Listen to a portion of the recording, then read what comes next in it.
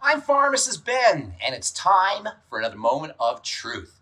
After surgery, the blood has a tendency to clot. Likewise, strokes and arrhythmias increase the risks of blood clotting. This is why standard post surgical stroke and heart disease protocols include blood thinners, heparin, warfarin, or one of the more newfangled anticoagulants like Xarelto or Plavix.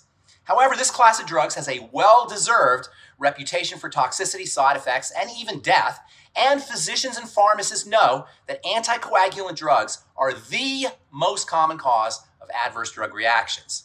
One way to mitigate the likelihood of anticoagulant toxicity is to take smaller doses, and that's just what you'll be able to do if you include some simple nutritional strategies in your medication regimen.